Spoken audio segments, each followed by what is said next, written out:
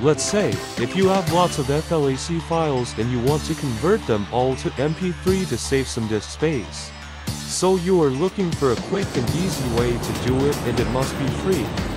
Let's get it. Open this site, download and install it.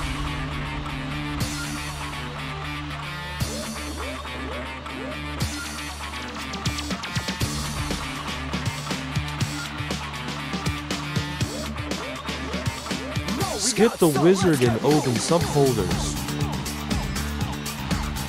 Browse to root of your music folder. You must remove all non-music file extensions from the list otherwise the encoding may hang.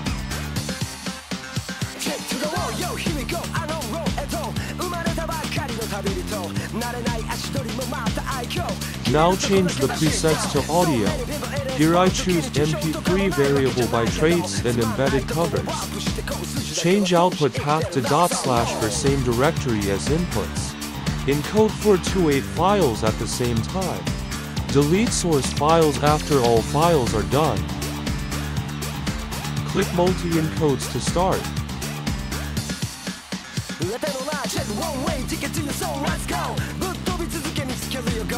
Wait until encoding it finished.